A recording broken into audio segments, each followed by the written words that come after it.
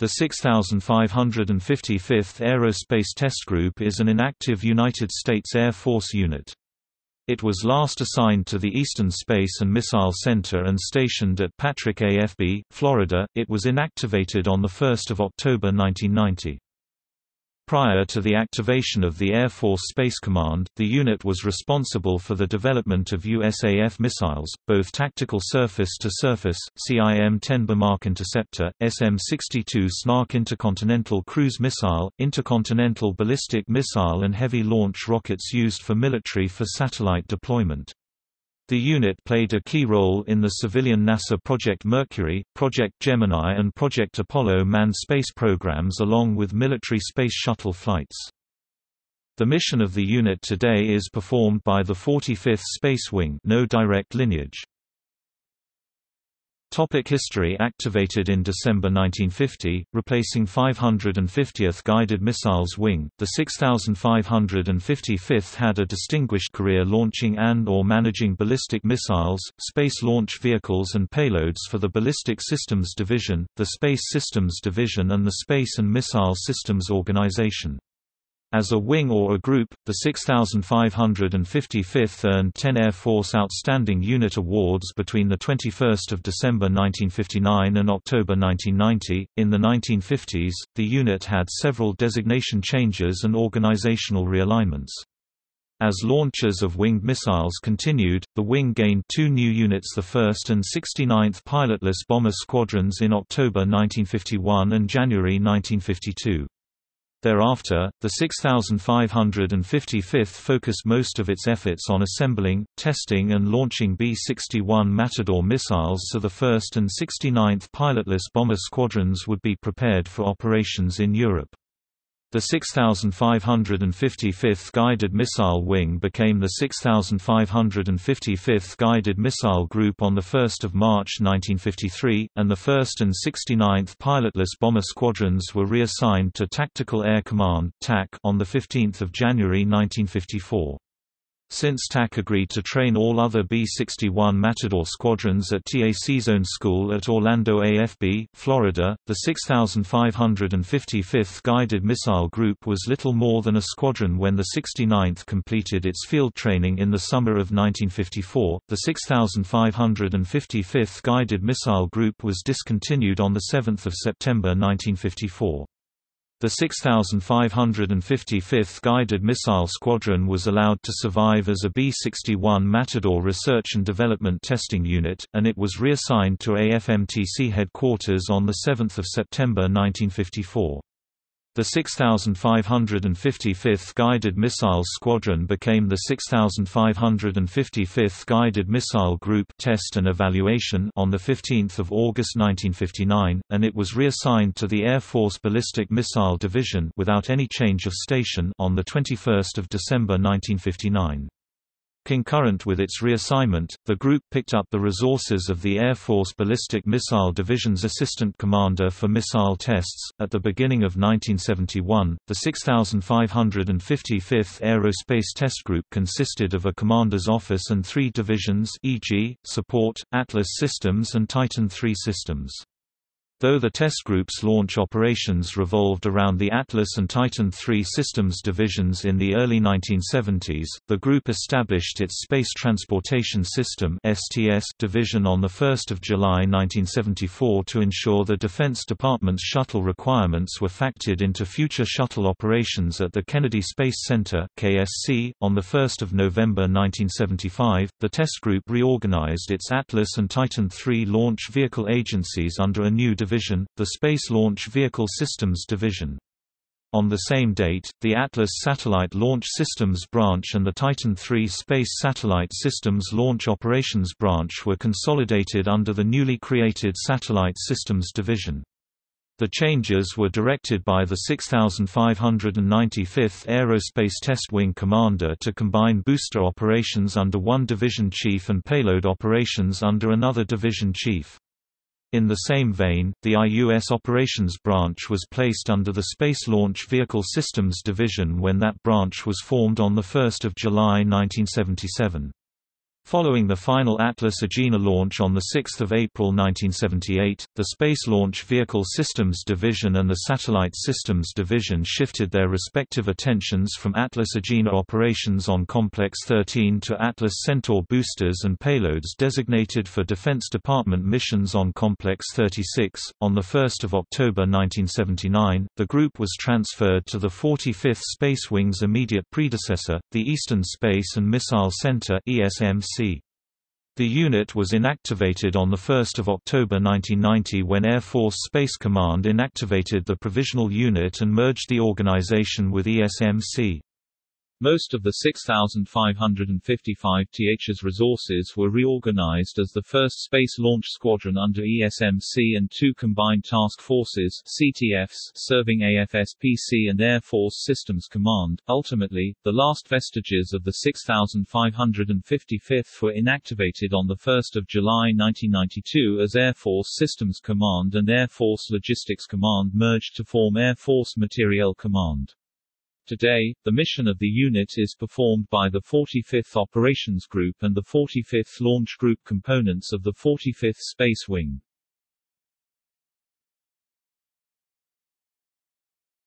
Topic: Weapons and missile development.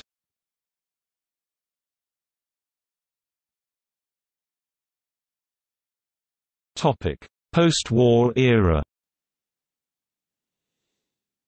Between 1946 and 1950, the group's predecessor units, the 1st Experimental Guided Missiles Group and 550th Guided Missiles Wing, tested a variety of glided bombs and tactical missiles. They also developed QB-17 drone aircraft for use in atomic bomb testing, and later as targets for anti-aircraft missiles. The 550th GMW also launched the first rockets from the Joint Long Range Proving Ground at Cape Canaveral, Florida in 1950. Republic Ford JB-2 1947-1949, the JB-2 was a U.S.-made copy of the famous German V-1 surface-to-surface, pilotless flying bomb first used against England in June 1944. Planned for use in the invasion of Japan, the missile was never used in combat during World War II. The first experimental guided missiles group began a testing program with the JB-2 at White Sands, New Mexico in March 1947 and it spent several months preparing a detachment to depart for cold weather testing of the JB-2 in Alaska in November 1948. Testing was also done at the Army Air Forces Proving Ground at Santa Rosa Island, Florida. The JB-2 was never used operationally, however it led to the development of the first operational USAF cruise missile, the Martin B-61A Matador, QB-17L Flying Fortress 1946-1950. The BQ-17 Flying Fortresses was as unmanned aircraft that would fly near or even through mushroom clouds during post-war atomic tests. B-17s were withdrawn from stores for conversion into drones with the addition of radio, radar, television, and other equipment equipment. Most of the work was performed by the San Antonio Air Depot at Kelly Field in Texas. Initially supplied by the 1st Experimental Guided Missiles Group, the first of these nuclear tests took place in the South Pacific under the code name Operation Crossroads. When the USAF was established in 1947, the Director aircraft became dB-17 gigaseconds, while the drones became QB-17GL. By January 1950, the Air Proving Ground decided this piecemeal operation ought to be consolidated, and it recommended the establishment of a separate and permanent drone squadron. Personnel from the 550th GMW-2D Guided Missile Squadron were subsequently transferred to a new unit, the 3200th Proof Test Group in May 1950. When the 550th GMW was reassigned to Patrick AFB in December 1950, the drone operations remained at the Eglins Air Proving Ground Center, VB-6 Felix 1947-1948. The Felix was an air-to-surface guided bomb equipped with a heat-seeking guidance system primarily designed as an anti-ship weapon. Developed during World War II, successful trials led to the Felix being put in production in 1945, but the Pacific War ended before it entered combat.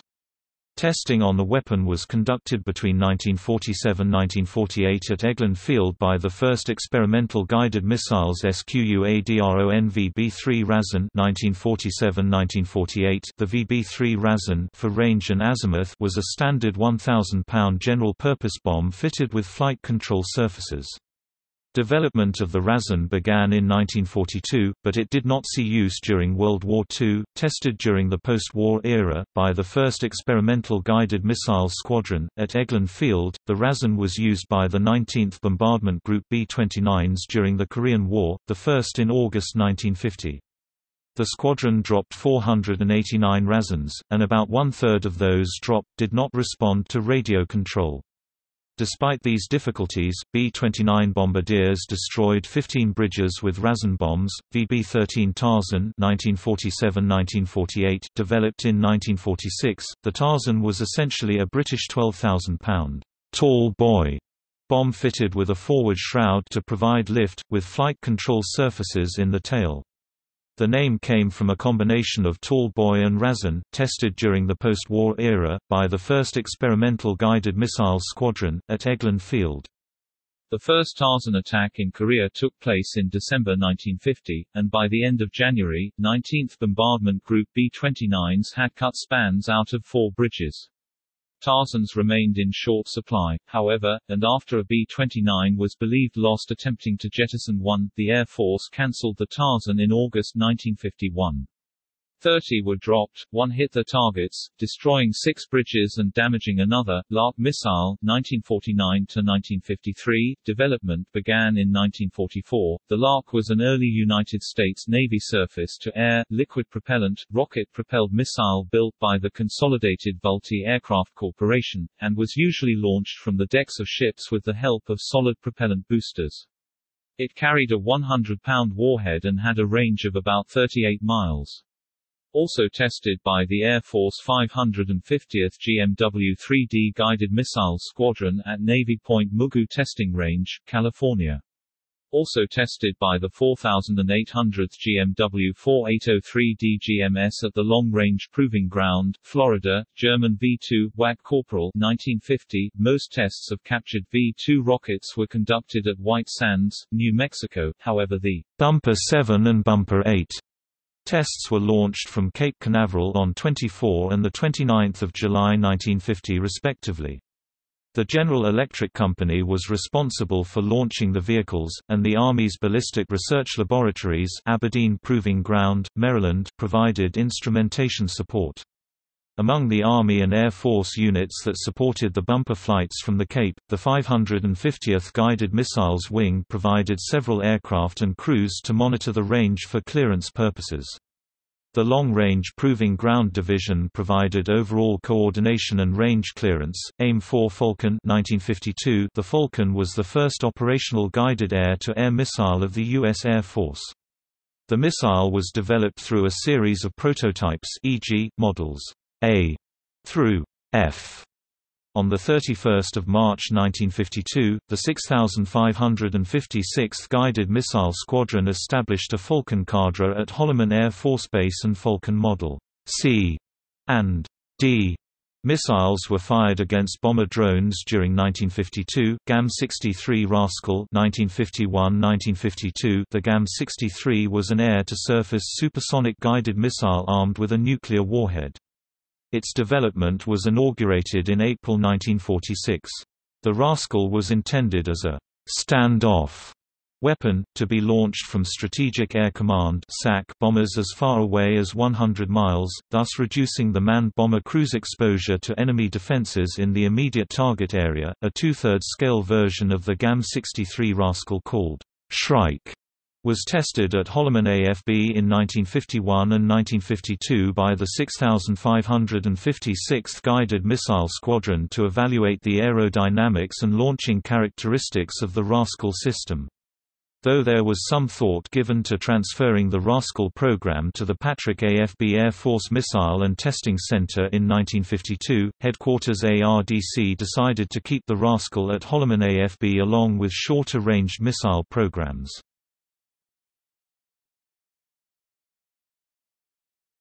Topic: Aerodynamic missiles.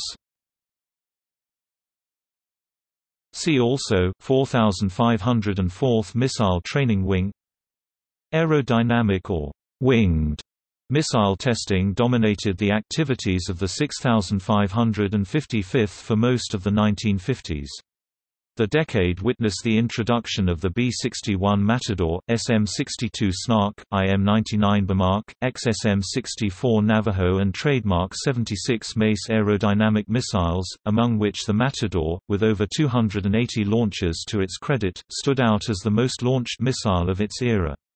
The Matador was also the 6555th's first full-fledged weapon system program and its initial deployment overseas included military launch crews trained at Cape Canaveral AFS. B-61A Matador, 1951–1954 The Matador was a surface-to-surface -surface tactical missile designed to carry a conventional or nuclear warhead. Originally designated as the B-61, the USAF's first pilotless bomber. It was similar in concept to the German V-1 buzz bomb of World War II, and developed from the United States JB-2 copy of the V-1. The XB-61 was first launched on 19 January 1949. Operational trademark 61s, which later followed, were the first tactical guided missiles in the USAF inventory. The first pilotless bomber squadron Light was organized in October 1951 for test and training purposes. 286 operational trademark 61 Matador missiles were test-fired from Cape Canaveral, the first on 20 September 1951, the last on 1 June 1961, SM-62 Snark 1952-1959. The SM-62 strategic missile program gave the U.S. Air Force valuable experience in developing long-range strategic nuclear missile systems. The SM-62 was a significant forerunner of cruise missiles developed many years later.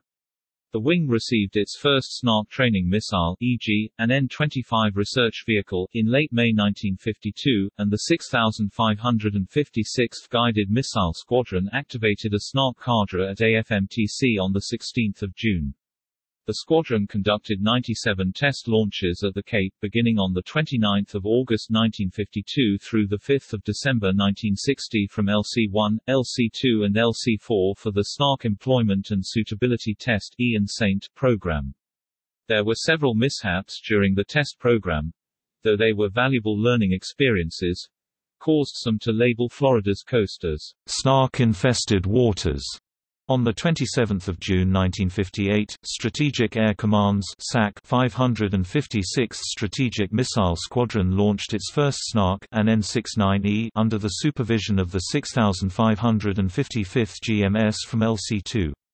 Under an informal agreement between Air Training Command and AFMTC, one officer and five airmen were sent to AFMTC in March 1959 and attached to the 6555th GMS to train officers and airmen for SAC's SNARK unit at Presque Isle AFB, Maine. IM-99 Bomarc 1952–1958 The supersonic Bomarc missiles IM-99A and IM-99B were the world's first long-range anti-aircraft missiles, and the only surface-to-air missile ever deployed by the United States Air Force. Unlike the Lark missile program, the IM-99 Bomarc test program at the Cape was essentially a Boeing contractor-led operation. The 6,555th's people were not responsible for any IM-99 Bomarc launches, but six airmen from the 6,555th's 20-man IM-99 Bomarc section were assigned to help Boeing with electronic equipment maintenance tasks in late March 1953, and nine other airmen assisted the University of Michigan with its IM-99 Bomarc activities at the Cape. The Air Force Missile Test Center provided range support and test facilities at the Cape, and AFMTC's safety agencies were responsible for ensuring that safety requirements for the 15,000-pound, 47-foot-long missile were stringently enforced. Launch pads 3 and LC-4 were used for IM-99 testing. In relation to other aerodynamic missile programs at the Cape, the IM-99 Bomarc continued to move ahead slowly. The first Bomarc launch took place on 10 September 1952, however by the middle of 1956, only eight propulsion test vehicles, nine ramjet test vehicles and five guidance test vehicles had been launched. Two tactical prototype BOMARCs were launched against a QB-17 Flying Fortress target drone in October and November 1956, but the 6,555 TH's people only played a supporting role in those tests and later contractor-led operations. 25 Bomarc interceptor missiles were launched from the Cape before ARDC announced plans in September 1958 to transfer the Bomarc program from Cape Canaveral to the Air-Proving Ground Center's Eglin AFB test site at Santa Rosa Island near Fort Walton Beach, Florida. The last Bomarc launch took place on 3 September 1958. Trademark 76 Mace 1956 1962, a replacement for the TM-61A Matador. The Mace was a tactical surface surface-launched missile designed to destroy ground targets. Development of the MACE began in 1954, and the first test firing occurred in 1956. Testing was conducted from hardsite pads 21 and 22. The first version of the MACE, the A, employed a terrain matching radar guidance system known as ATRAN automatic terrain recognition and navigation which matched the return from a radar scanning antenna was matched with a series of onboard radar terrain maps.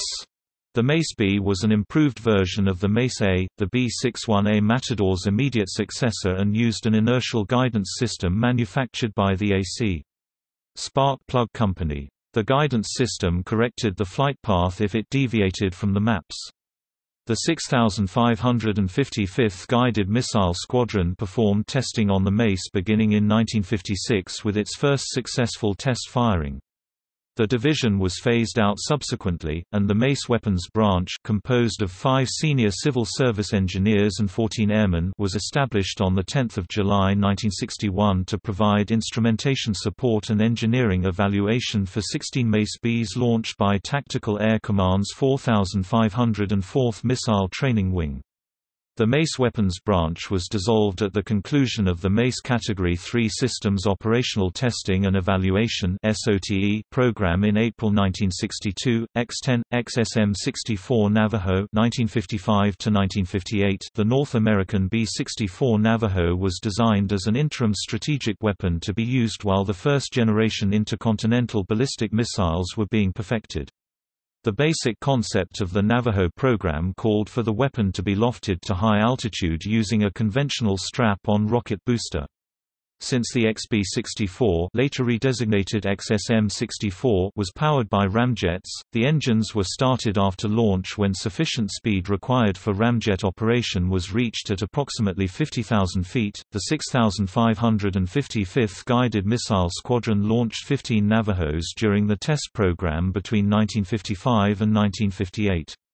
Only two of three planned versions e.g., the X-10 and the XSM-64 were ever launched at the Cape from LC-9 and LC-10. After six months of delays, the first X-10 flight took place 19 August 1955.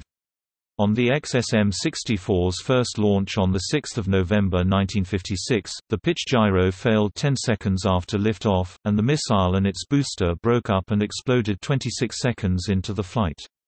Three more XSM-64s were launched over the next seven months with depressing, if not equally dismal, results. The next missile fell back on the launch pad on 25 April after rising only 4 feet. The last of the three was launched on 26 June 1957. It performed well until the ramjets failed to operate after booster separation, and the missile impacted about 42 miles downrange. The only bright spots in the program seem to be some static tests of the Navajo's booster rockets and North American's isolation of problem areas revealed in the first four XSM-64 flights. Unfortunately for North American, Navajo was already doomed. In a message dated 12 July 1957, Air Force Headquarters terminated the Navajo's development.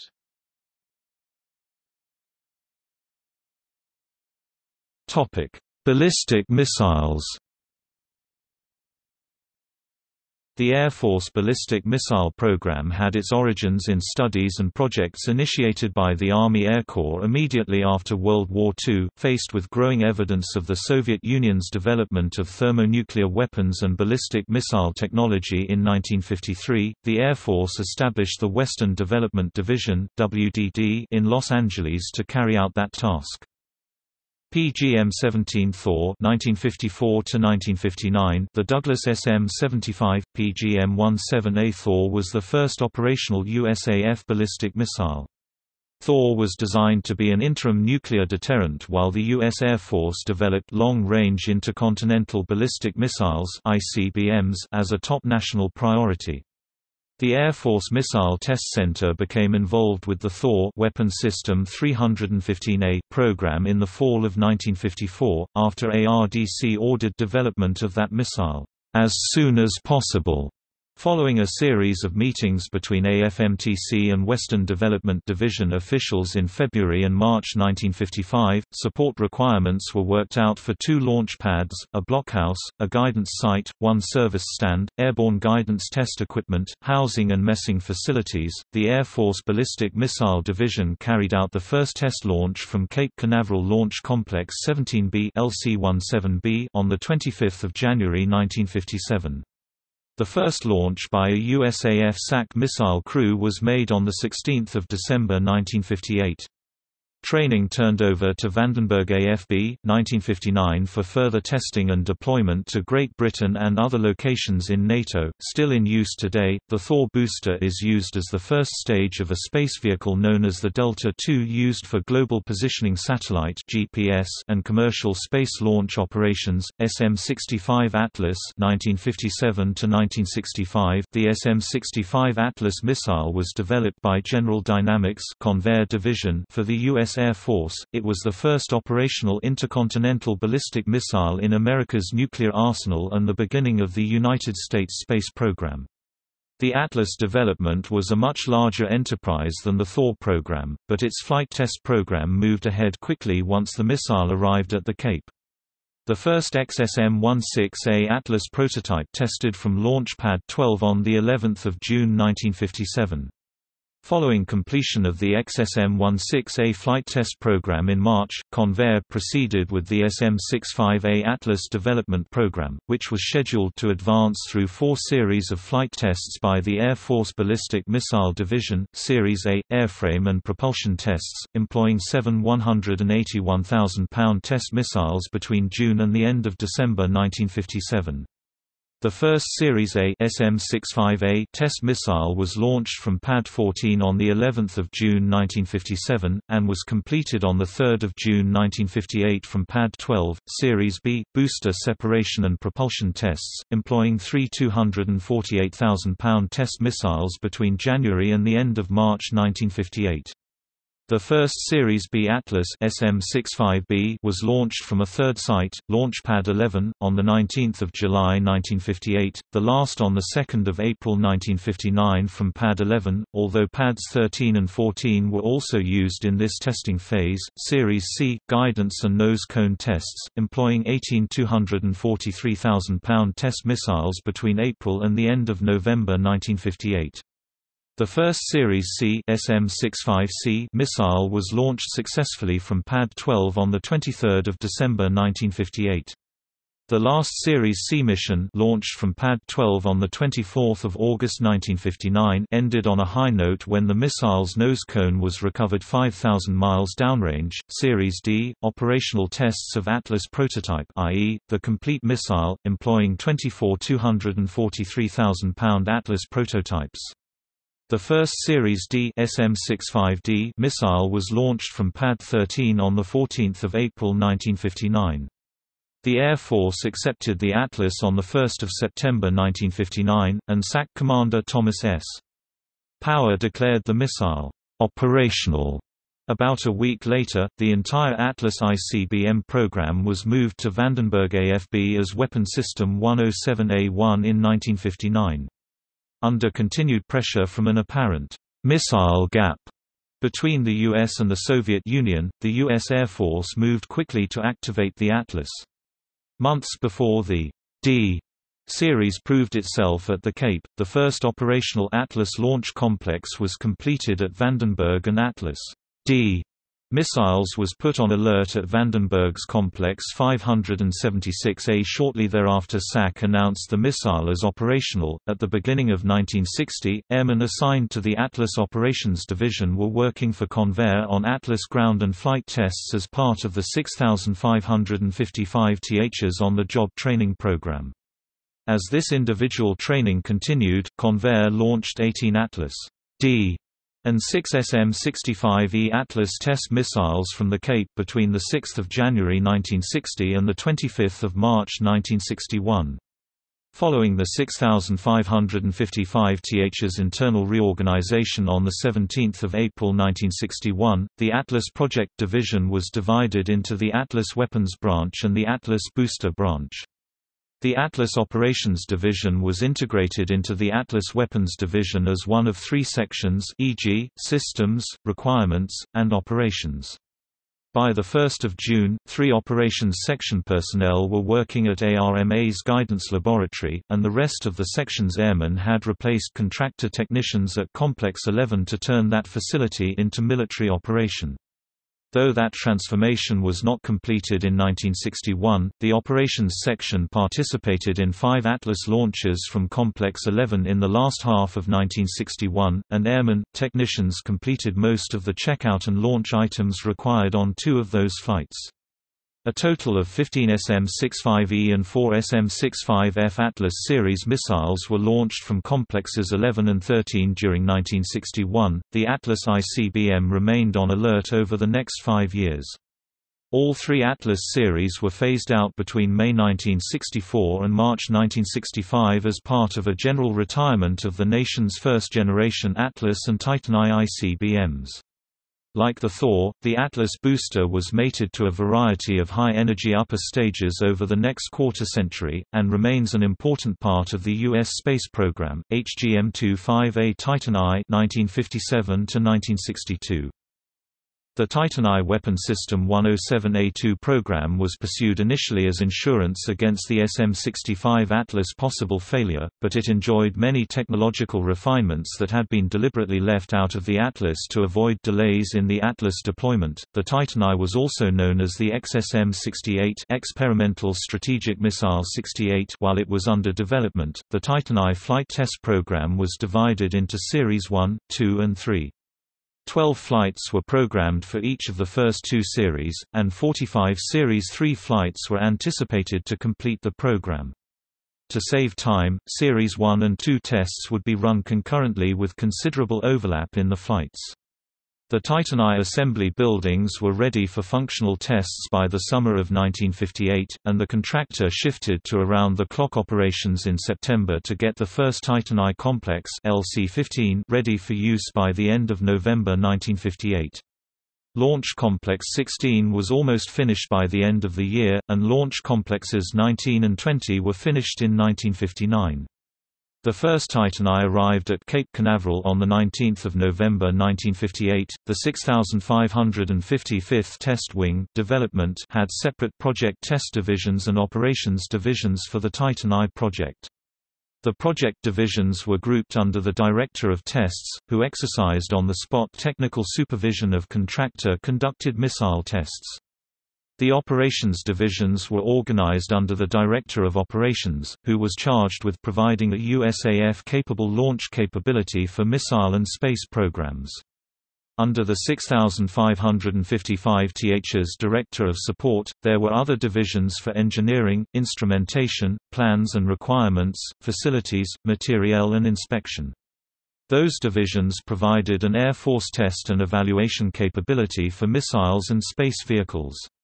The Titan Project Division had jurisdiction over four Titan launch complexes 15, 16, 19 and 20, a radio guidance site and laboratory, an all-inertial guidance lab, hangars T and U, and a re-entry vehicle hangars. I flights were designed to test the Titan's first stage and explore the problem of starting the second stage's rocket engine at altitude. The first four Titan I test missiles were launched from Complex 15 on 6 February 25 February, 3 April and 4 May 1959. On Series 2 flights, the second stage's guidance system was operated in conjunction with the Titan's control system, and those flights served the additional purpose of testing the Titan's nose cone separation mechanism. Series 2 was begun with a launch 14 August 1959 from LC-19.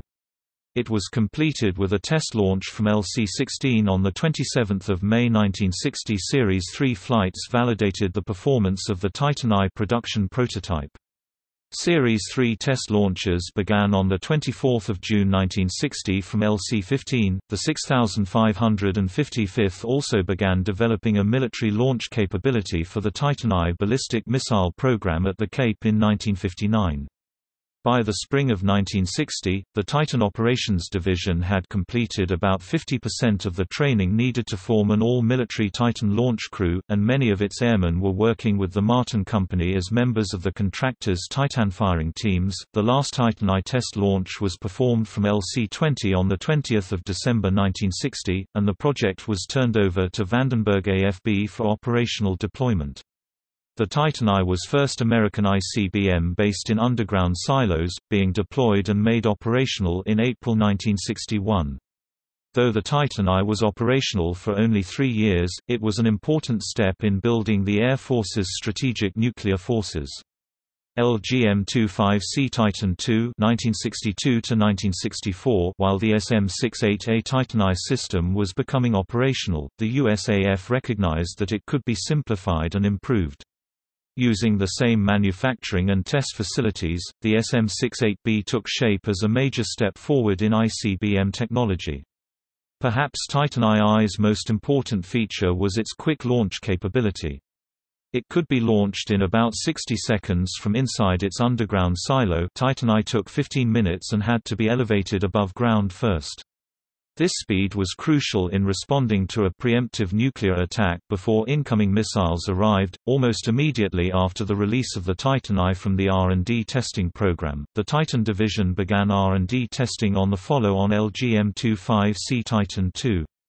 The section's people received two months of formal training at Martin's Titan plant in Denver during the first half of 1962, and they continued their on-the-job training at Cape Canaveral. Launch complexes 15 and 16 were modified to launch the new missile, and the first test flight of the Titan II was made on 16 March 1962 from LC-15. Two more successful test flights were made from complexes 15 and 16 on 6 July and 7 November. The operations branch's participation in Titan II launches remained somewhat limited during this period, but its involvement increased significantly during three test flights on 12 September, 26 October and 19 December 1962. Finally, on 6 February 1963, the Titan Weapons Division recorded its first USAF crew launch of the Titan II. The operations branch's second shift launch crew completed the Titan II training on 21 August 1963 with a highly successful test flight from Complex 15. Four more Titan II test flights were launched from Complex 15 in 1964 before the missile's R&D program was concluded at Cape Canaveral. Two of the flights, which were launched on 15 January and 26 February 1964, met some of the test objectives. The other two test flights, on 23 March and 9 April 1964, met all of their objectives.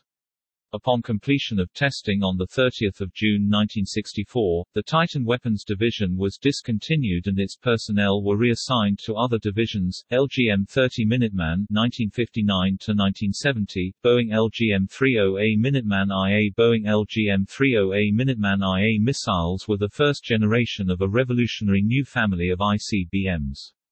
They used solid rather than liquid fuel, and so could be launched in less than a minute, hence the Minuteman name, referring to colonial American farmers who could be ready to defend their homes at a moment's notice.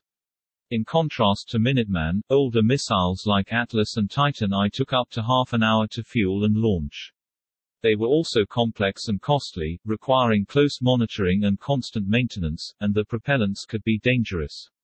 Moreover, they tended to be vulnerable to attack. Minuteman missile testing was the last intercontinental ballistic missile effort at Cape Canaveral. The 6,555th Test Wing Minuteman activities began on 21 December 1959 with the Minuteman Project Division. An inert LGM-30A Minuteman I missile was processed along with 90% of its support equipment in the spring of 1960. Another inert missile, equipped with electrical components to test the facility's electronic compatibility, was assembled and tested at the Cape in October and November 1960.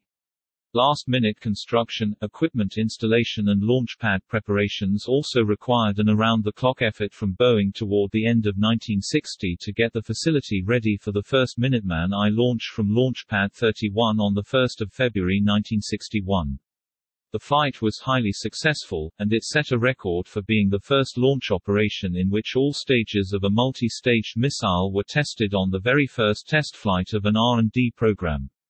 First USAF crew flight occurred on 27 June 1963. Successes alternated with failures when the second and fourth Minuteman I missiles were destroyed during their flights from Pad 31 and Silo 32 on 19 May and 30 August 1961, but two other Minuteman flights were launched from Silo 32 and Silo 31 before the end of 1961, and they met most of the test objectives. Apart from one flight failure in April 1962, Boeing had a string of five successful flights from Silo 31 between 5 January and 9 March 1962, and the Cape recorded four more successful test flights from Silo 32 in May and June 1962. The latter included the first all-military launch of a Minuteman I missile on 29 June.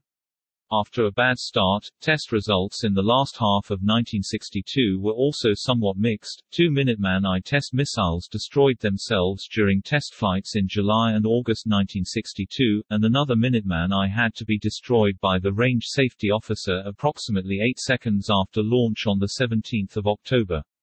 Five successful test flights were recorded in September, November and December 1962, and the year's operations were capped by a partially successful flight from Silo 32 on 20 December. While Minuteman I launches continued at Cape Canaveral, other aspects of the Minuteman program advanced elsewhere in the United States. On 28 September 1962, for example, a Minuteman I missile was launched from Vandenberg Air Force Base for the first time in that base's history. The first Minuteman I Model A flight of 10 missiles was placed on alert at Malmstrom Air Force Base, Montana on 27 October 1962, and the first full squadron of 50 Minuteman I missiles was on alert at Malmstrom by the spring of 1963.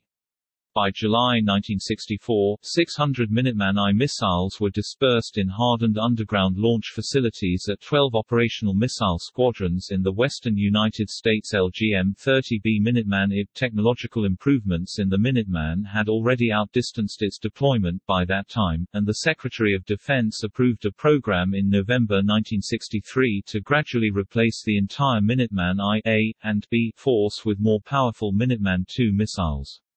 The first LGM-30B Minuteman IB missiles went on alert at Ellsworth Air Force Base, South Dakota in July 1963, and Ellsworth's 66th Strategic Missile Squadron was declared operational less than three months later. LGM-30F Minuteman II on 2 October 1963, shortly after the first Model A and B Minuteman I squadrons achieved operational status, Headquarters USAF issued Annex A to Specific Operational Requirement 171 which established a requirement for the Minuteman II ICBM Model F a more advanced missile than either model of the Minuteman I. The F model incorporated a new, larger second stage, improved guidance system, a greater range and payload capacity, and an increased capability to survive the effects of nuclear blast. Facilities were reconfigured for the Minuteman II program during the last half of 1964, and the operations branch launched the first Minuteman II test missile from Silo 32 on 24 September. Three additional highly successful Minuteman II flights were launched from Cape Canaveral before the end of 1964, and they were followed by a string of seven near-perfect test flights from Silos 31 and 32 in 1965. The Operations Branch launched four Minuteman II test missiles in 1966, and it launched four more in 1967.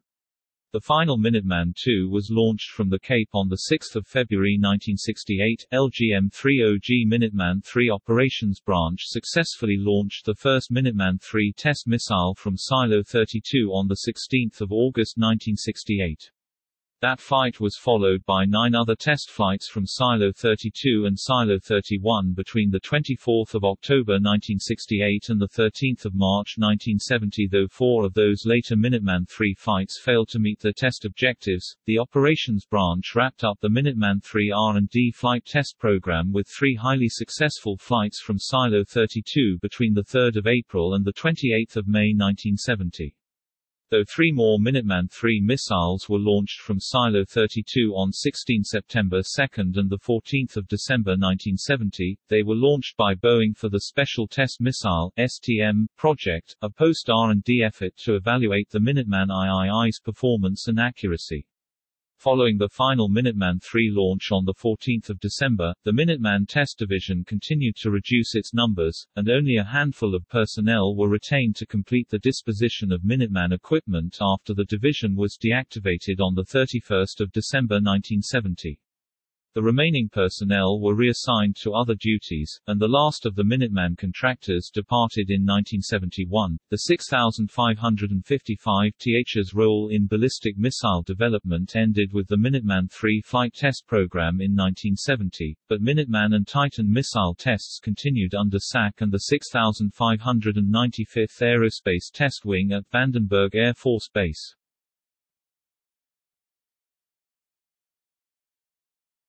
Topic: Space launch operations. The Air Force's interest in artificial satellites and hence space operations was sparked by discussions with the Navy shortly after the end of World War II. At Major General Curtis E. LeMay's request, the Douglas Aircraft Company's RAND Group provided the Pentagon with a 321-page study in May 1946 on the feasibility of satellites for military reconnaissance, weather surveillance, communications and missile navigation. The Soviets' successful launch of Sputnik I on 4 October 1957 came as a shock to the American public, but the military implications of that capability came into even sharper focus as much heavier payloads were orbited from the Soviet Union in the months and years that followed. Galvanized into action by the Soviet Union's achievements, the U.S. Department of Defense set high priorities on the development of military satellite systems. It also created the Advanced Research Projects Agency on 7 February 1958 to supervise all U.S. military space efforts. The Air Force drew up a manned military space system development plan in April 1958, and it also volunteered to carry out the U.S. Man in Space mission. Though much of the plan was incorporated in later manned space efforts e.g., Project Mercury, Project Gemini and Project Apollo, President Dwight Eisenhower rejected the Air Force's offer to lead the effort. Instead, he called on Congress to establish a civilian space agency, and the National Aeronautics and Space Act was passed by Congress in July 1958. Since the Air Research and Development Command was destined to serve the Air Force and two non-Air Force clients in space, i.e., ARPA and NASA, effective coordination among the agencies was crucial to the early success of the space mission. Before the 6,555th absorbed the Air Force Ballistic Missile Division's resources at the Cape in December 1959, most of the Air Force's participation in the Cape's space launch operations was managed by the WS-315A Thor Project Division under the Air Force Ballistic Missile Division's Assistant Commander for Missile Tests.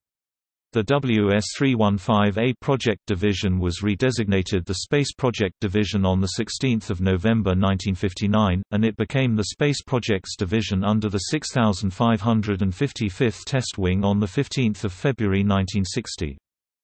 Following the establishment of Air Force Systems Command, the 6555 TH's Test Directorate and Operations Directorate were transformed into the Space Programs Office and the Ballistic Missiles Office on 17 April 1961. Under that reorganization, the old Atlas project office's resources were divided roughly in half to create an Atlas Booster branch and an Atlas Weapons branch. The Atlas Booster branch was placed under the Space Programs Office. The old Atlas Operations Division became the new Atlas Weapons Branch's Operations Section, and the new Atlas Weapons Branch was placed under the Ballistic Missiles Office. The Space Projects Division became the Space Projects Branch under the Space Programs Office on 17 April, and its Thor Booster Branch created on 17 March 1961 was removed and set up as a separate branch under the Space Programs Office.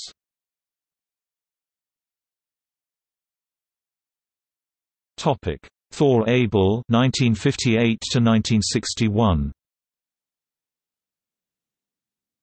The division had jurisdiction over Complex 17 and 3 missile assembly buildings e.g. hangars M, L and AA. It supported a total of 10 Air Force-sponsored Thor Able, Thor Able I and Thor Able II space launches from Pad 17A before the end of 1959. The division also supported NASA's Pioneer 1 and Pioneer 2 missions, which were launched by Douglas from Pad 17A on the 11th of October and the 8th of November 1958, and NASA's Explorer 6 mission, which was launched by Douglas from Pad 17A on the 7th of August 1959. Under the 6555th Test Wing, development, the Space Projects Division managed five Thor Able Star missions for the Army, the Navy and ARPA in 1960. It also monitored Douglas' preparation and launch of two Thor Able boosters for NASA's Pioneer 5 deep space mission to Venus in March 1960 and its TIROS-1 weather satellite mission in April 1960. Topic Atlas, Atlas Agena, Atlas Centaur, Atlas Project Mercury 1959–1965–1961 proved to be a very busy year for the 6555th and its space launch contractors. Following its first two unmanned Project Mercury capsule launches for NASA in September 1959, Big Joe 1, and July 1960, Mercury Atlas 1, Convair launched Atlas D boosters on three successful, and one unsuccessful. Project Mercury flights from Complex 14 in 1961, Mercury Atlas 2 Mercury Atlas 3, Mercury Atlas 4. The Douglas Aircraft Company launched three transit navigation satellite missions from Pad 17B for the U.S. Navy, and it provided booster support for two Project Explorer missions and one TIROS mission, TIROS 3, that were launched from Pad 17A in 1961. Aeronutronic and the Blue Scout branches operations section launched a total of six space vehicles from Pads 18A and 18B in 1961. NASA Associate Administrator Robert C. Seamans Jr. signed a joint NASA-ARDC agreement on 30 January 1961 concerning the Air Force's participation in the Room 81 Agena B launch vehicle program, and the 6555th's participation in the Centaur program was settled with NASA under a joint memorandum of agreement in April 1961. The Air Force Ballistic Missile Division procured the Atlas boosters required by the program, and it provided operational, administrative and technical support for those launch vehicles. NASA's Jet Propulsion Laboratory and the Goddard Space Flight Center provided the spacecraft.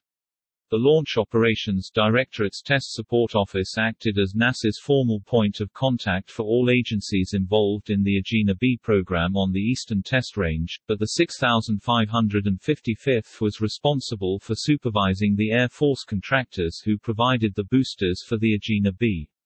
While many tests were observed jointly by NASA and Air Force representatives, NASA was responsible for the spacecraft, Lockheed was responsible for the Agena B, Convair was responsible for the Atlas D booster, and the 6555th was responsible for the readiness of the entire launch vehicle.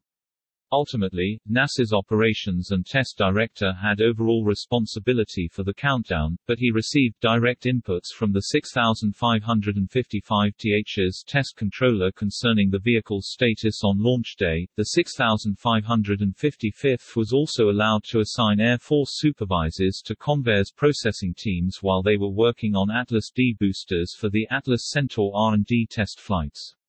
In instances where NASA's Launch Operations Directorate wanted procedures added to Convair's Atlas D checklists, the 6555th integrated those items. NASA also agreed to coordinate Centaur test documentation with the 6555th. To avoid duplication of effort, NASA and the Air Force agreed to share a large number of facilities e.g., Complex 36 and hangars H, J and K for the Centaur, Agena B and Project Mercury efforts. Since NASA planned to use the Centaur's facilities first, the Air Force secured a promise from NASA to coordinate its Centaur facility and equipment modifications with the 6555th before the changes were made. The 6555th agreed to make an officer available as a consultant to NASA's launch director during Atlas Centaur launch operations. In 1962, Air Force contractors and the Atlas Space Branch supported three Ranger program and two Mariner program missions from Complex 12, and they supported the first three manned orbital Mercury Atlas missions, which were launched from Complex 14. All those NASA missions were launched by contractors, but the Air Force implemented plans in the last half of 1962 to establish an Atlas Agena BUSAF launch capability. The division's Project Mercury support mission ended following the last Mercury flight in May 1963 Mercury Atlas 9, but the unit still supported DOD operations on Complex 13. It picked up Atlas Agena B target vehicle operations for Project Gemini shortly thereafter.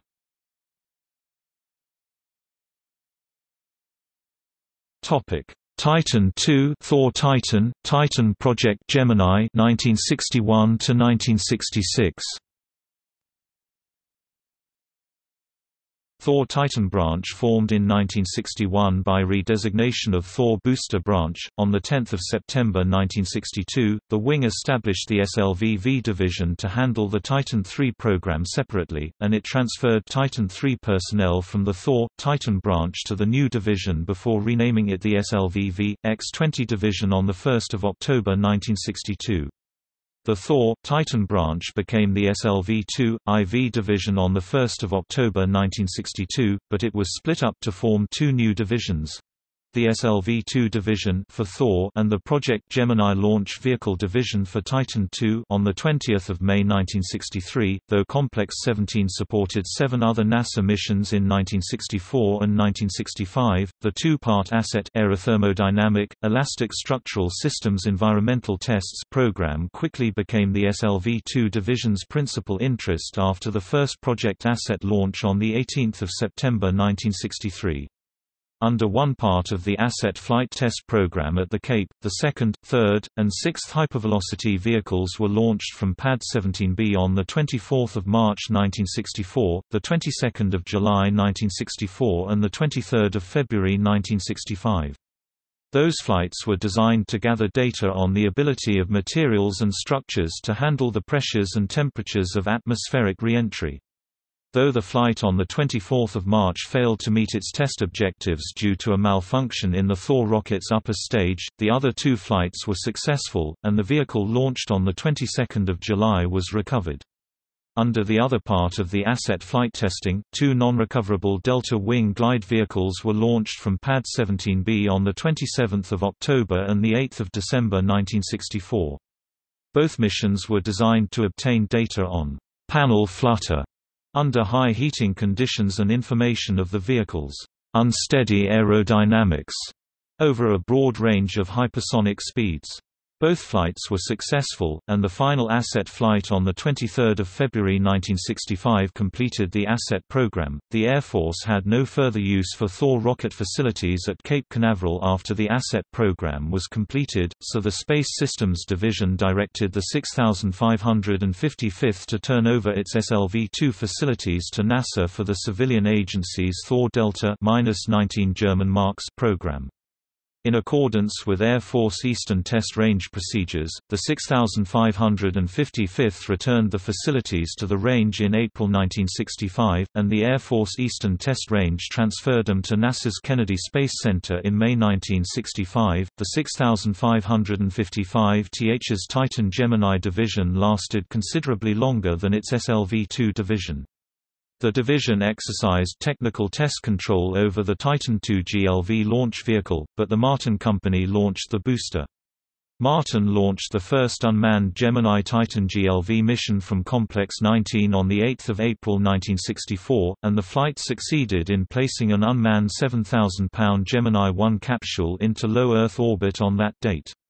The first manned Gemini mission Gemini 3 was launched from Complex 19 on 23 March 1965, and it met all of its test objectives. Astronauts Virgil I. Grissom and John W. Young were recovered with their capsule in the primary recovery area after three orbits on March 23D. Nine more pairs of astronauts were boosted into orbit aboard Gemini Titan GLV launch vehicles in 1965 and 1966, and seven Atlas Agena target vehicles were launched from 14 in support of six Project Gemini missions. Following the last highly successful Gemini Titan GLV flight in November 1966, the Gemini Launch Vehicle Division completed its mission and began transferring personnel to other Air Force bases or to other agencies under the 6555th Aerospace Test Wing. As overall manager for Project Gemini, NASA was understandably proud of its role in the highly successful effort, but the Air Force and its contractors planned, built and launched all the Titan II GLV space boosters associated with Project Gemini.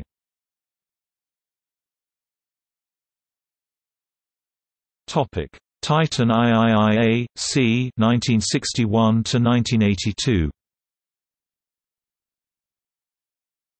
NASA's plans for the Saturn Heavy Lift rocket program were already underway in 1961, and the agency saw no need for a military heavyweight space booster for low Earth orbit, geosynchronous orbit or deep space missions. Consequently, NASA resisted the Air Force's first attempts to secure funding for the Titan III initiative, and the Air Force had to work long and hard to prepare its case for the Titan III. It was decided that the Titan III would be developed exclusively for Department of Defense heavy lift orbital missions after 1965. Following that concession, initial funding for the Titan III contractual effort was granted on the 11th of December 1961, and Space Systems Division's new 624A Systems Program Office began managing the Titan III program 4 days later. Initially the Titan III was planned for use in the X-20 Dyna-Soar manned space glider which could be boosted into orbit, maneuvered, and piloted back to Earth. Plans for the program called for two unmanned and eight-man Titan IIIC spaceflights with manned glider landings at Edwards Air Force Base. At Secretary McNamara's request, it was stopped by President Lyndon B. Johnson in December 1963 before any spaceflights were flown, though Titan III Complex 41 extended across the Cape Canaveral boundary into NASA's territory on Merritt Island, all property within Complex 41's security fence and along the access road to the site was considered part of the Air Force's Titan III program. Put simply, NASA had jurisdiction over the Merritt Island launch area, the Saturn rocket program and Saturn rocket facilities on Merritt Island and Cape Canaveral. The Air Force had jurisdiction over Cape Canaveral, the Titan III program and all Titan III facilities, including Complex 41. Though the Air Force Eastern Test Range and its contractors continued to provide range support for all of NASA's launch vehicle programs on Merritt Island and Cape Canaveral, the Saturn rocket and Titan III rocket programs were pursued as distinctly separate NASA and Air Force launch efforts. Martin launched the first Titan IIIA from Complex 20 on 1 September 1964, and three more Titan IIIA flights were completed before the first Titan IIIC was launched from Complex 40 on a successful mission on 18 June 1965. Following the fourth and final Titan IIIA launch on 6 May 1965, Complex 20 was deactivated and returned to the Air Force Eastern Test Range in September 1965. Complex 41 was turned over to the Titan III Division's Operations Branch for beneficial occupancy on 18 June 1965, and the facility was accepted by the Air Force in December 1965. The first Titan IIIC lifted off Pad 41 on 21 December. The flight met most of its test objectives, including the successful release of the LES-3 and LES-4 communications satellites and the Oscar IV amateur radio satellite. Two more Titan IIIC missions were launched from Complex 41 on 16 June and 26 August 1966. The first of those flights included the successful release of seven initial Defense Communications Satellite Program satellites and one gravity gradient satellite, but the second flight ended after the Titan IIIC's payload fairing broke up approximately 79 seconds after launch. Eight IDCSP satellites were destroyed in the mishap. Another Titan IIIC was launched from Complex 40 on 3 November 1966, and it boosted a modified Gemini 2 spacecraft and three secondary satellites into orbit during a largely successful experimental mission on that date. Since the Air Force intended to use Complex 40 for its Manned Orbiting Laboratory flights. The MOL was cancelled in June 1969. Complex 41 eventually supported all the Titan IIIC missions launched from the Cape between the beginning of 1967 and the end of the decade. It was used by Titan IIIC rockets for a Project Viking simulator mission and a Project Helios solar mission in 1974, two NASA Project Viking Viking 1, Viking 2 missions to Mars in 1975, another Project Helios mission in 1976, and two NASA Voyager program Voyager 1, Voyager 2 missions to the outer planets in 1977. A Defense Support Program (DSP) mission had just been launched from Complex 40 on the 6th of November November 1970, but the payload failed to achieve proper orbit. The spacecraft's operational potential was reduced as a result. The next Titan IIIC vehicle and its DSP payload were assembled and checked out for a launch on 5 May 1971. The launch on 5 May was successful, and the payload was placed in a synchronous Earth orbit as planned. That flight marked the 16th Titan IIIC mission in the 6555th Test Group's history. On 2 November 1971, the Air Force and its contractors launched the first two Phase II Defense Satellite Communications Program (DSCP) satellites into near synchronous equatorial orbits from Complex 40. That Titan IIIC mission was successful, and it marked the first in a series of classified flights destined to replace Phase 1 DSCP satellites that had been launched from the Cape between 16 June 1966 and 14 June 1968. On 1 March 1972, a Titan IIIC carrying a 1,800-pound DSP satellite was launched successfully from Complex 40. Eight days later, a Titan IIIC core vehicle C-24 arrived via C-5A Galaxy aircraft, and it was erected at the VIB on 16 March 1972. It was launched successfully on 12 June 1973. Titan IIIC launches continued throughout the 1970s when launch vehicle C-37 and a twin DSCS payload. The launch CST was run on 12 November 1979. Regarding the launch itself, there was one unscheduled five-minute hold during C-37's launch countdown on 20 November. The countdown resumed without further incident, and the Titan IIIC lifted off Complex 40 on 20 at 2110, 00 Eastern Standard Time. Both Phase 2 DSCS communications satellites were placed in their proper near-synchronous orbits, and the mission was a complete success. The last vehicle launched under the Titan IIIC program was launch vehicle C-38. It arrived at the Cape on 24 October 1979, and it was the last of 36 Titan IIICs launched from the Cape between 18 June 1965 and the evening of 6 March 1982. After two years of testing, storage and retesting, C-38 was launched on a classified mission on 6 March 1982 at 1425, 00 Eastern Standard Time. The flight marked the end of an era at the Cape. Complex 41 was refurbished for the Titan IV program during the last half of the 1980s, but its first Titan IV launch did not take place until 14 June 1989, almost 12 years after it was used to launch the Voyager program missions to the outer planets.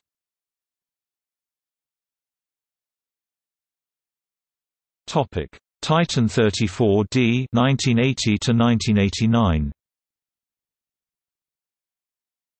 As the last Titan IIIC thundered skyward, Martin Marietta and the test group were completing their second year of preparations for the Titan 34D's first launch. The effort began in earnest when the first Titan 34D core vehicle arrived at the Cape in March 1980. Baseline CSTs were completed in September 1980, and, apart from a brief round-trip ride to the SMAB on of November, the core vehicle remained in storage at the VIB until 18 May 1981. The core vehicle was accepted in August 1981, and it was moved to the SMAB on 18 January 1982. The Titan 34D's operational IUS, IUS-2 arrived at the Cape on the 22nd of December 1981. It was taken to the SMAB, and its assembly was completed there on 8 June 1982. Though the IUS pre-planned acceptance testing was completed on 19 August, its formal acceptance was delayed pending additional tests required by Space Division. The IUS was mated to the launch vehicle on 1 September 1982, and it was mated to the vehicle's DSCS-2-3 payload on 29 September.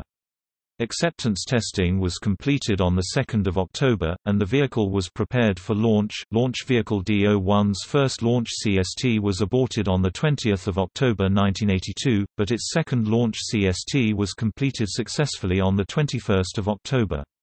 The countdown was picked up smoothly on 29 October at 2055 Z Greenwich Mean Time, and the first Titan 34D lifted off Complex 40 at 0405, 01 Z on 30 October 1982. The Titan's flight was virtually flawless, and the IUS placed both DSCS satellites into near-perfect equatorial orbits. With the completion of this first highly successful launch operation, the Cape moved solidly into the Titan 34D era. All Titan 34D launch operations at Vandenberg and the Cape were suspended following the Titan 34D9 launch failure in April 1986, but it would be wrong to conclude that the suspension allowed the 6555th Aerospace Test Group and the Air Force's Titan contractors to lapse into a period of inactivity. On the contrary, the Space Launch Recovery Effort and Titan IV program initiatives kept the test group's agenda full. The test group supervised the initial recovery effort at the Cape. As part of that program, a non-destructive testing X-ray facility was constructed in the ITL area for the purpose of inspecting Titan solid rockets for flaws in propellant, restrictors, insulation and potting compounds.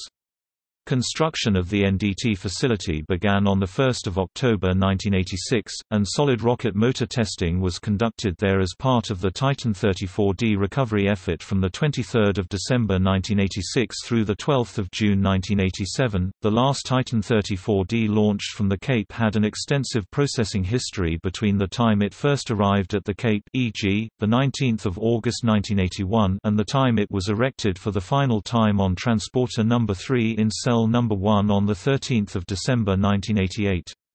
The Transtage was erected on the core vehicle on 28 March 1989. The acceptance CST was completed successfully on 23 June 1989.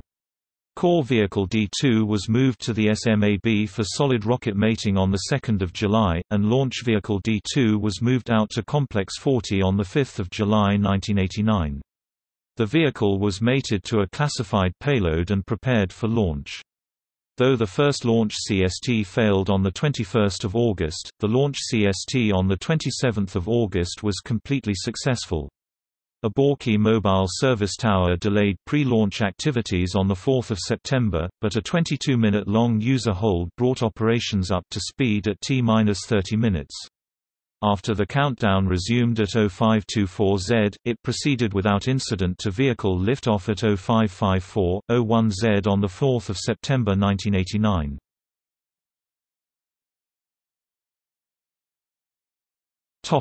Titan IV 1988 to 1990 As Titan 34D launch operations continued, the first Titan IV liquid rocket engines were installed on the Titan IV Pathfinder vehicle at the end of January 1988, shortly before the core vehicle was erected in the VIB. Four Titan IV solid rocket motor segments were received at the SMAB by the middle of February 1988, and two electrical functional tests were conducted in early March. As bugs were worked out of various systems. The core vehicle had its first successful CST on the 11th of May 1988. The vehicle was moved to the SMAB around the middle of May. Following a successful mate with two five-segment stacks of solid rocket motor segments, the Pathfinder vehicle was moved out to Complex 41 on Saturday 21 May. The first Titan IV vehicle supported a classified mission. Its launch had been scheduled for 7 June 1989, but the liftoff was pushed to 14 June due to a range timing generator problem and a computer malfunction. The countdown was picked up at 0254Z on 14 June.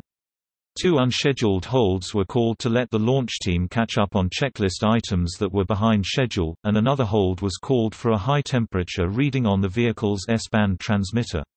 Following the last unscheduled hold, the countdown proceeded uneventfully, and the Titan IV lifted off Complex 41 at 1318.01Z on 14 June 1989.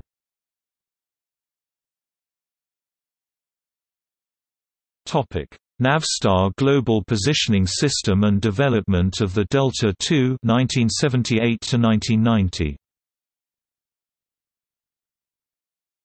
The Navstar Global Positioning System (GPS) program opened up a whole new field for space support operations at the Cape in the 1980s, the launching of satellites to provide highly accurate three-dimensional ground, sea and air navigation.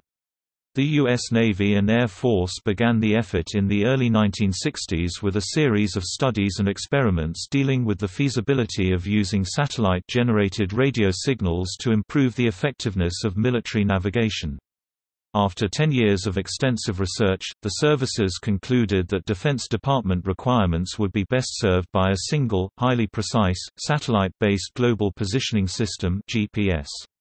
In December 1973, the Defense Navigation Satellite System, later known as Navstar GPS, entered its concept validation phase. The technology necessary to field the GPS was confirmed during that phase, and four advanced development model Block I Navstar satellites were launched on converted SM-65F Atlas boosters from Vandenberg's Space Launch Complex 3 East between the 22nd of February and the 11th of December 1978.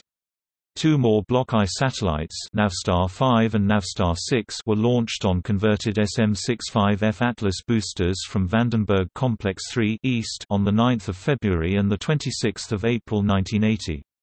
By the end of 1980, the Navstar GPS constellation was arranged in two orbital planes of three satellites each, orbiting Earth at an altitude of approximately 10,900 nautical miles.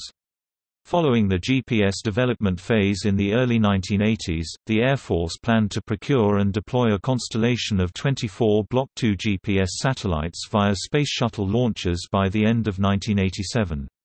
Funding cuts in 1980 and 1981 reduced the planned constellation to 18 Block II satellites and added a year to their deployment, but the program continued to move ahead. A Block I replenishment satellite was launched on a converted SM-65E Atlas booster from Vandenberg Complex 3 East on the 18th of December 1981. Unfortunately, a hot gas generator on one of the Atlas booster's main engines failed shortly after liftoff, and the vehicle crashed about 150 yards from the pad. The next replenishment satellite launch was postponed while Atlas engines were refurbished and test-fired in 1982, but the mission was finally launched successfully from Vandenberg Complex 3 West on 14 July 1983.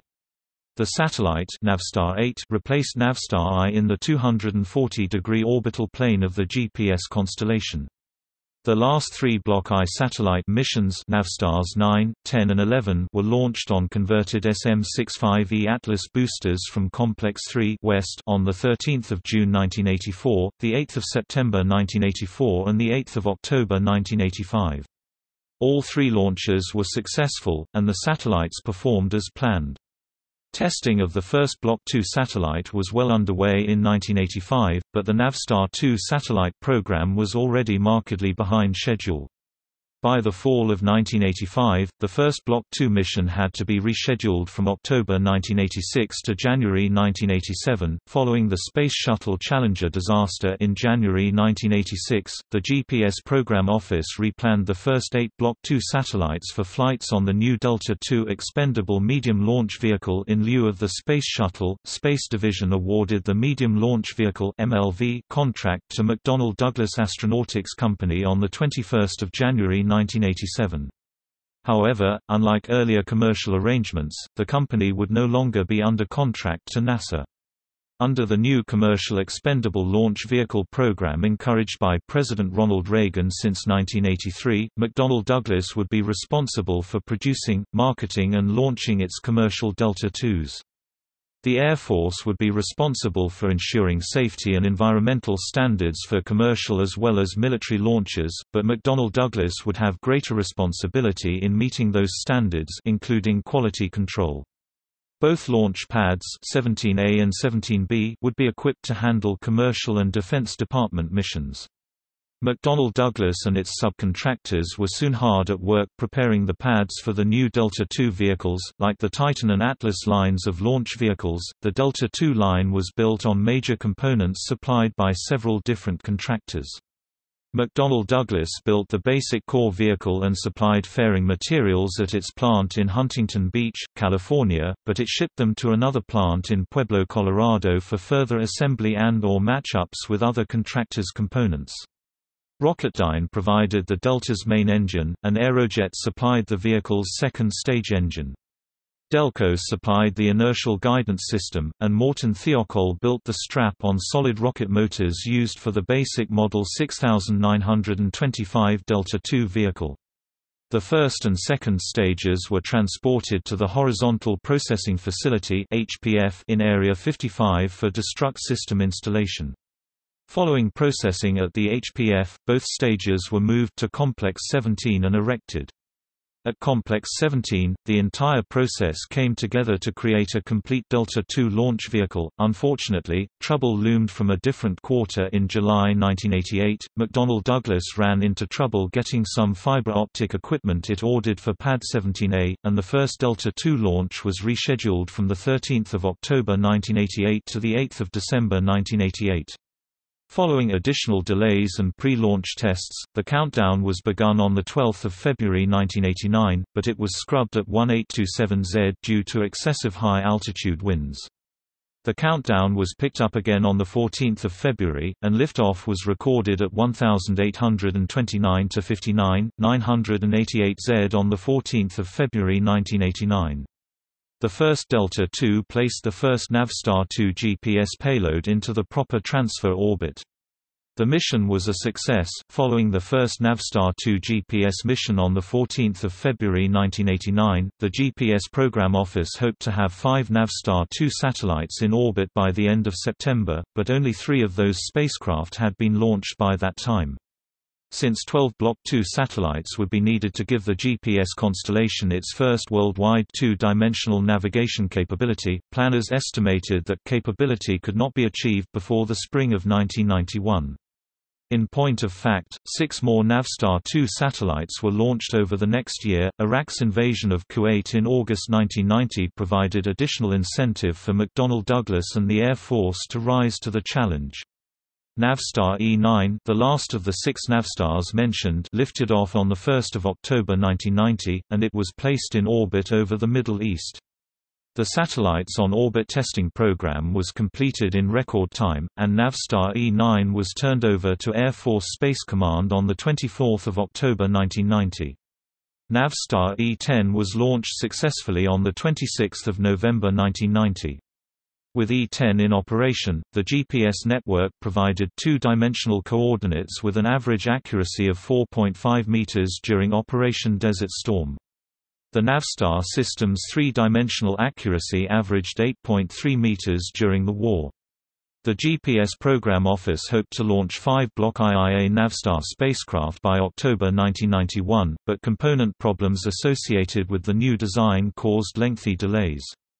Only two Block IIA missions were launched by October 1991, but five more Block IIA launches were completed by the end of 1992. The Constellation was well on its way to full operational status by the beginning of 1993.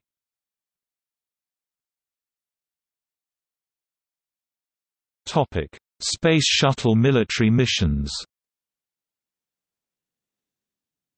The 6555th Aerospace Test Group established its Space Transportation System (STS) division on the 1st of July 1974.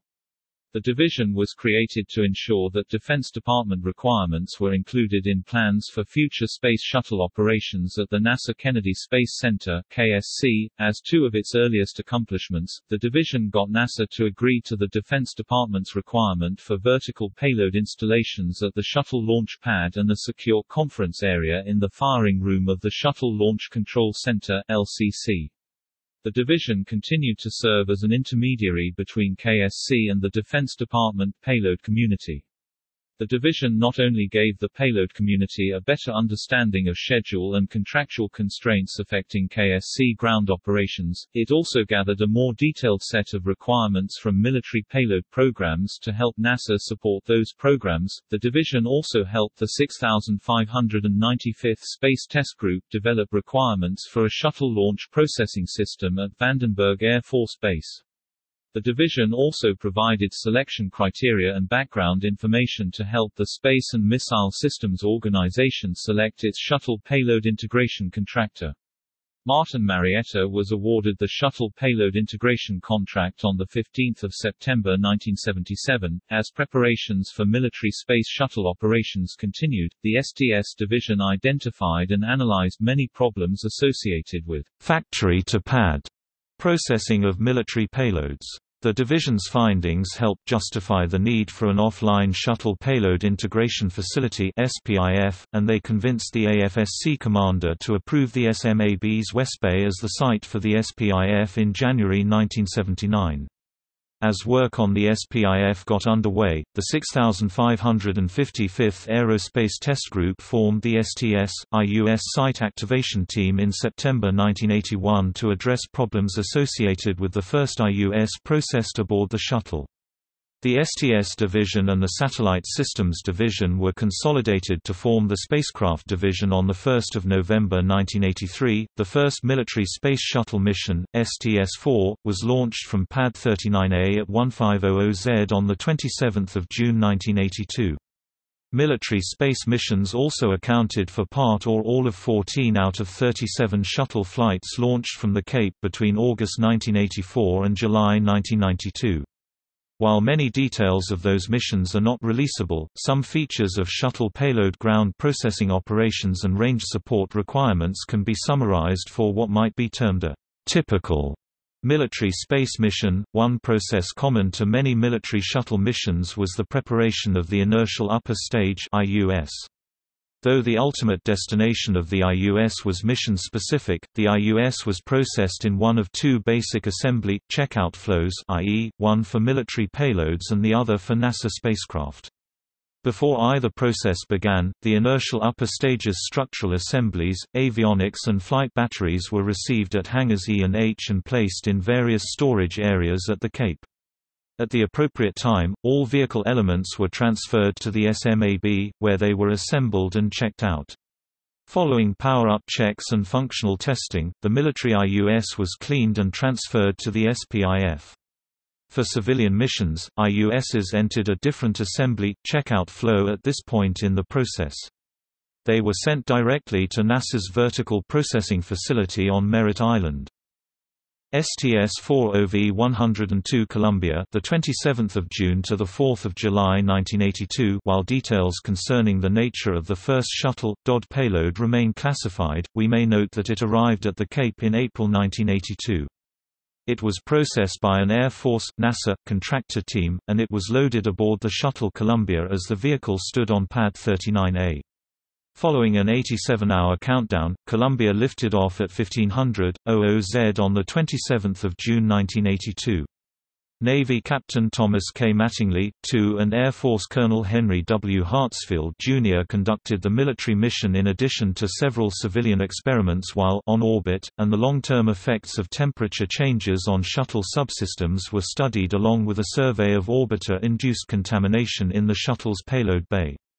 Columbia made a hard runway landing at Edwards Air Force Base at 1609, OOZ on 4 July 1982, STS-41D OV-103 Discovery the 30th of August to the 5th of September 1984, the first of five operational SYNCOMIV military communications satellites was launched on Discovery's maiden flight on the 30th of August 1984.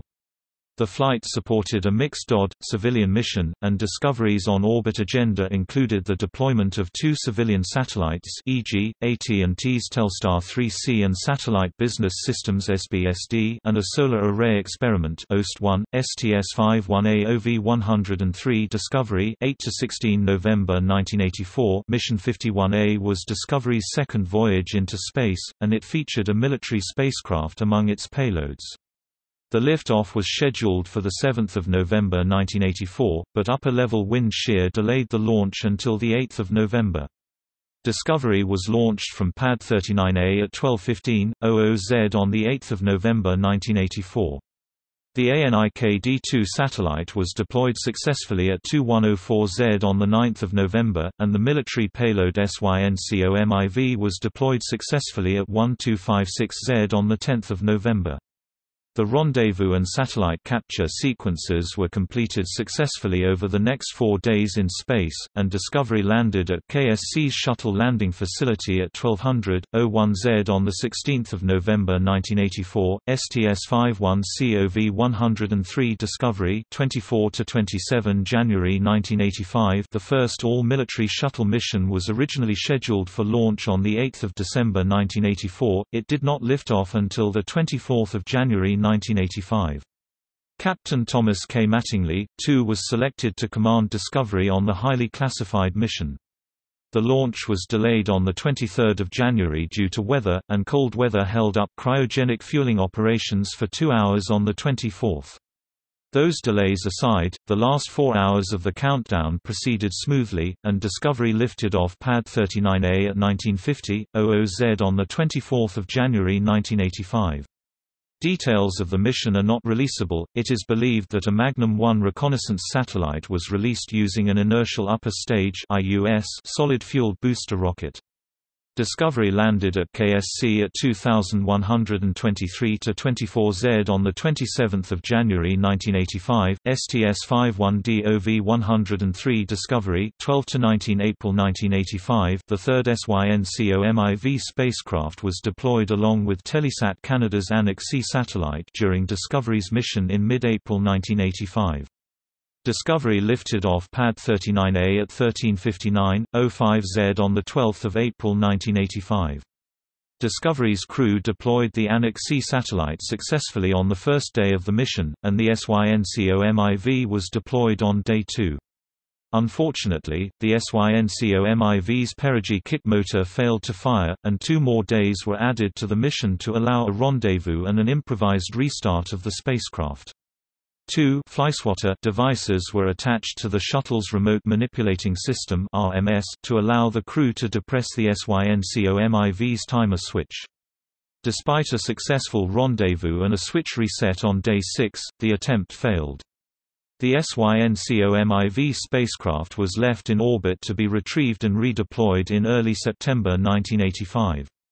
Discovery landed at KSC's Shuttle Landing Facility at 1355-37Z on 19 April 1985, STS-51IOV-103 Discovery the 27th of August to the 3rd of September 1985 Discovery's sixth trip into space was launched in late August 1985. The countdown was started again at 0205Z on 27 August, and it proceeded smoothly except for a three-minute extension in a built-in hold to clear traffic in a solid rocket booster retrieval area. Discovery lifted off Pad 39A at 10:58:01 Z on 27 August 1985. The AUSSAT-1 spacecraft was ejected from the orbiter's cargo bay at 1733Z on the 27th, and the satellite's deployment and perigee kick motor burns were both successful. The ASC-1 deployment and boost were also successful on day one of the mission. The SYNCOMIV-4 deployment went extremely well on day 3, and Discovery's crew prepared for their rendezvous with the wayward SYNCOMIV-3 spacecraft on day 5. The spacecraft was retrieved and repairs were completed on the satellite on day 6 of the mission. SYNCOMIV-3 was redeployed at 1512Z on 1 September 1985. Unlike its earlier performance in April, the spacecraft began sending good telemetry data to ground stations shortly thereafter. Discovery landed on Edwards Runway 23 at 1315Z on 3 September 1985, STS-51 JOV-104 Atlantis 3 to 7 October 1985 The Shuttle Atlantis maiden flight was completed in early October 1985, and it was dedicated to a highly classified military mission.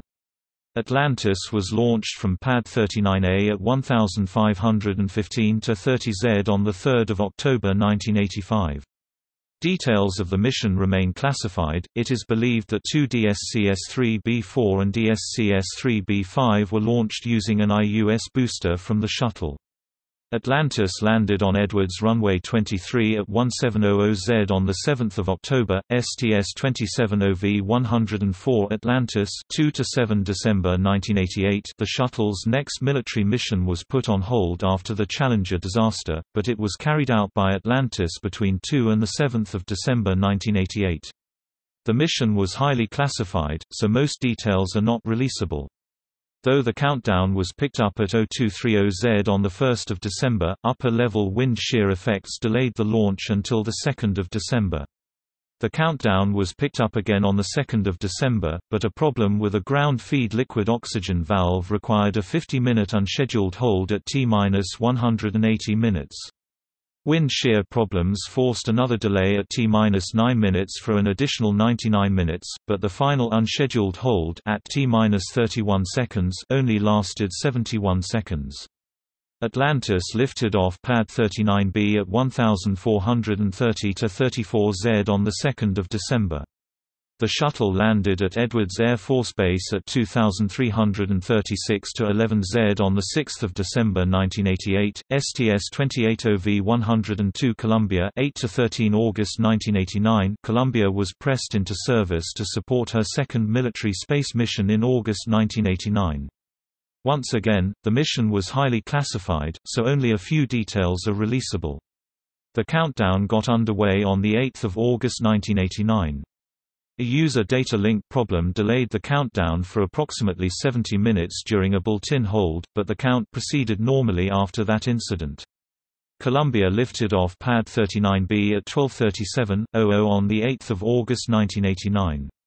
In addition to deploying their military payload successfully, Columbia's crew conducted several on-orbit experiments during the five-day mission.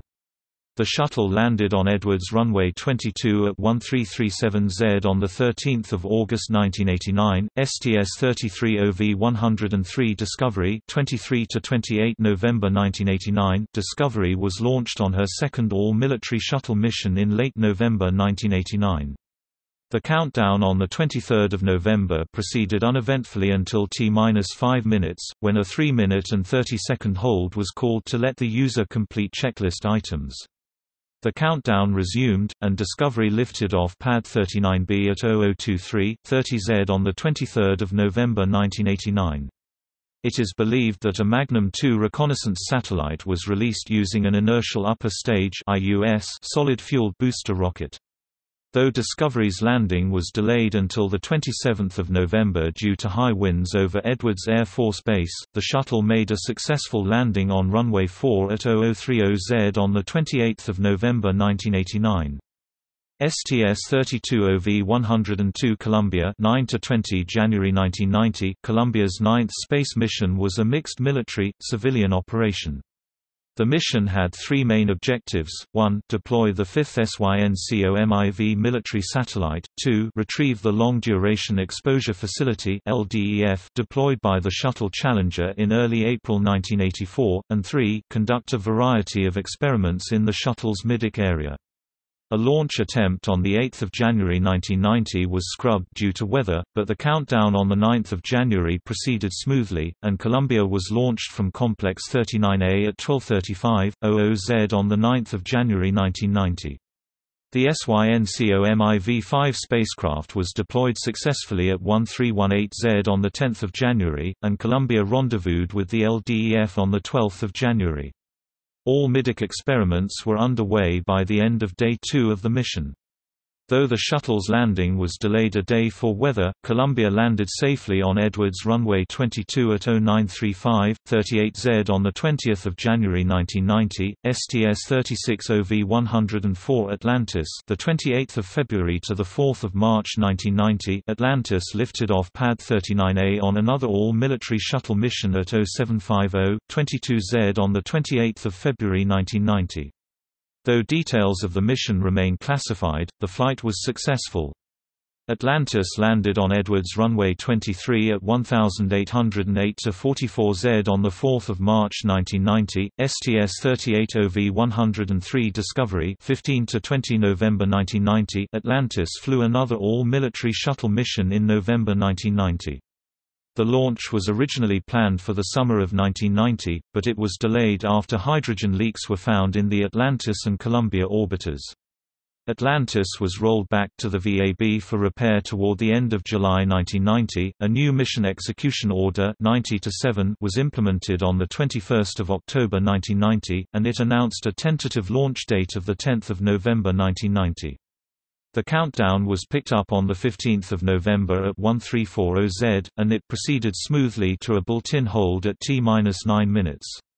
That hold was extended 2 minutes and 34 seconds to allow the user to catch up on checklist items, and the countdown proceeded to lift off at 2348 to 15Z on 15 November 1990. The mission was highly classified, so on-orbit details are not releasable. It is believed that a Magnum 3 reconnaissance satellite was released using an inertial upper stage solid-fuel booster rocket. Atlantis crew planned to land at Edwards Air Force Base on 19 November, but strong winds delayed the landing and forced NASA to divert the orbiter to KSC's shuttle landing facility instead. Atlantis landed on KSC runway 33 at 2142 to 43Z on the 20th of November 1990. STS-39OV-103 Discovery, the 28th of April to May 1991. Discovery's SDI mission featured two deployable payloads, three orbiter bay payloads and two middeck experiments. The Infrared Background Signature Survey was on board to help define SDI systems and gather infrared data on shuttle exhaust plumes, earthlimb and aurora phenomena, chemical, gas releases and celestial infrared sources. It consisted of two deployable hardware elements e.g., the Shuttle Pallet Satellite 2 and a collection of three chemical release observation sub-satellites and a non-deployable critical ionization velocity element. The Air Force program's 675 payload was included on the mission to gather infrared, ultraviolet and X-ray data on auroral, earthlimb and celestial sources. It consisted of five experiments mounted on a pallet in the shuttle payload bay. The Space Test Payload 1 (STP-1) was a secondary payload consisting of five experiments designed to gather data on 1 fluid management in weightless conditions, 2 MILVAX computer and erasable optical disc performance in weightless conditions, 3 atomic oxygen glow effects, 4 free particles present in the shuttle payload bay during flight ascent and 5 the upper atmosphere's composition. The Cloud Logic to Optimize Use of Defense Systems clouds experiment used a 36-exposure camera to photograph clouds and correlate cloud characteristics with their impact on the efficiency of military surveillance systems. The Handheld Radiation Monitoring Equipment 3 RME3 sensor was included on the mission in one of a continuing series of experiments to collect data on gamma radiation aboard the shuttle, with Discovery safely in low Earth orbit, the crew set about completing the mission. The SPAS-2 was deployed at 0928Z on the 1 May 1991. Though problems with the onboard sun sensor forced cancellation of the first exhaust plume observation, other observations went well later in the day. NASA was reportedly, "...very pleased." With the results, the AFP 675 payloads experiments went well, and 31 of 33 individual experiments were completed by the time the shuttle's remote manipulating system retrieved the SPAS-2 at 1445Z on 3 May. Following another day of Earth observations, the SPAS-2 was returned to the payload bay and stowed. Discovery's deorbit burn occurred around 1750Z on 6 May, and the shuttle landed at KSC's runway 15 at 1855Z on the same day. STS-44OV-104 Atlantis, the 24th of November to the 1st of December 1991, the last military shuttle mission was flown by Atlantis. The Mission Execution Order 91-7 was implemented on the 11th of October 1991, but the scheduled launch was delayed for five days in mid-November due to a problem with the payload's IUS. A handful of optics, communications and weather instrumentation problems also cropped up during the countdown on 24 November, and the range safety display system required a reload approximately half an hour before launch. Despite those problems, Atlantis liftoff from Pad 39A went smoothly at 2344 00Z on 24 November 1991. The primary objective of the mission was to deploy a Defense Support Program DSP satellite approximately 6 hours and 18 minutes into the flight. The crew deployed the DSP spacecraft as scheduled at 0603Z on 25 November, but the mission was terminated three days early due to an inertial measurement unit failure aboard the shuttle. Though a landing at KSC was scheduled, Atlantis was ultimately diverted to Edwards Air Force Base for her landing. Following completion of the deorbit burn at 2131Z, Atlantis touched down on runway 05 at 2234 to 42Z on 1 December 1991.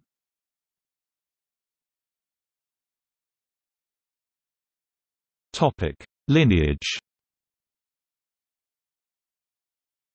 Designated as the 6555th Guided Missile Group test and experimentation and organized on 15 August 1959 redesignated 6555th Test Wing developmental on 21 December 1959 redesignated 6555th Aerospace Test Wing on 25 October 1961 redesignated 6555th Aerospace Test Group on 1 April 1970 inactivated on 1 July 1992.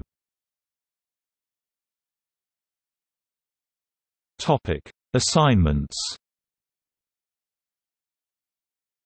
Air Force Missile Test Center, 15 August 1959 Ballistic Missile Division, 21 December 1959 Space and Missile System Organization, 25 October 1961 Space and Missile Test Center, 1 April 1970 Eastern Space and Missile Center, 1 October 1979 to 1 July 1992 Topic: Stations Patrick Air Force Base, Florida, the 15th of August 1959 to the 1st of July 1992. Topic. See also List of United States Air Force tactical missile squadrons